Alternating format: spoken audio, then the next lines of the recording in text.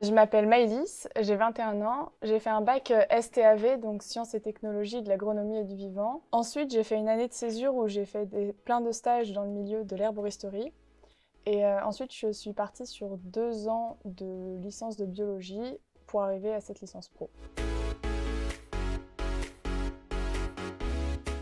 Donc moi je m'appelle Coraline, j'ai 21 ans, je suis issue d'un BTS euh, diététique. Après le BTS diététique, j'ai voulu euh, me spécialiser, donc euh, j'ai un peu cherché les options qui pouvaient s'offrir à moi. Et j'ai trouvé du coup la licence pro nutraceutique qui permettait un peu de voir un peu plus loin que la nutrition humaine et de voir un peu plus de physiologie, les plantes, de la phytothérapie et des choses comme ça. Au niveau de la licence euh, pro euh, nutraceutique, on va avoir les différents aspects du milieu de la nutraceutique, donc l'approche scientifique, l'approche réglementaire et l'approche euh, marketing.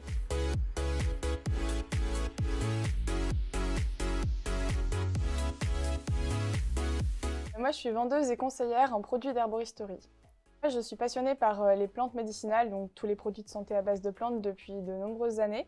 Je travaille dans une herboristerie donc, qui vend euh, des plantes sèches pour faire des tisanes, euh, des complexes, euh, des extraits hydroalcooliques par exemple, ou encore on a aussi un gros pôle huile essentielle. Donc je vais m'occuper en partie de la gestion de la boutique, des commandes, etc., de la relation avec les fournisseurs. Mais la plus grosse partie, et celle que je préfère, ça va être la relation avec le client et notamment le conseil. Donc la personne, elle va venir avec euh, nous expliquer les problèmes qu'elle peut avoir euh, au niveau de la santé. Et puis après, nous, on a tout un côté conseil euh, sur nos produits pour, pour aider au mieux la personne.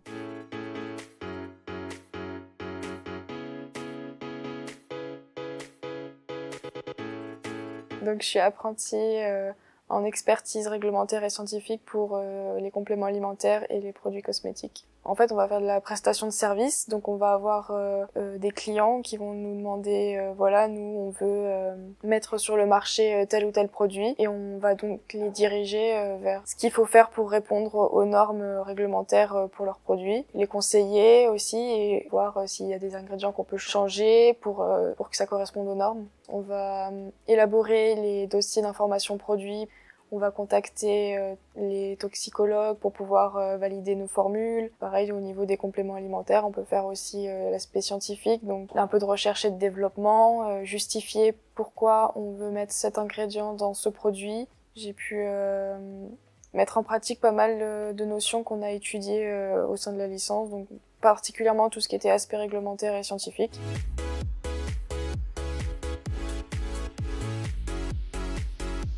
Moi, j'aime bien le principe de l'alternance parce que j'ai pu mettre en pratique ce que je voyais à l'université euh, directement euh, dans le monde du travail.